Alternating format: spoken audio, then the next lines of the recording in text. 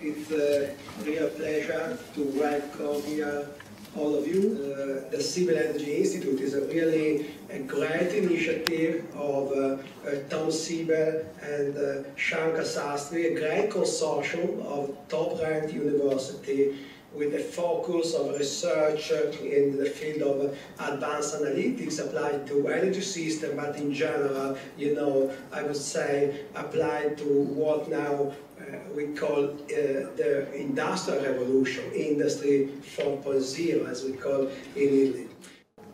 Okay, ladies and gentlemen, it's my great honor to be uh, with you today at uh,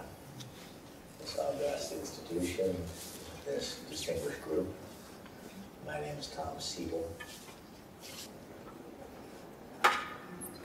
a computer scientist from the University of Illinois, and uh, I'll talk a little. I want to introduce this idea of the Siebel Energy Institute, which we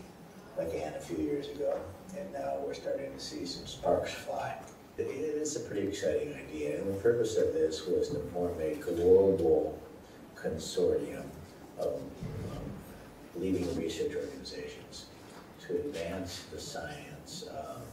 of basically data science as it relates to um, energy systems, advanced energy systems as we move forward from the grid to the smart grid, which is, uh, as you're well aware, a special case of a large and complex physical system. And the purpose of this organization is to basically stimulate collaboration amongst the lead- world's leading research uh, organizations in engineering, in computer science, in data science, and energy science, uh, to think collaboratively, to form research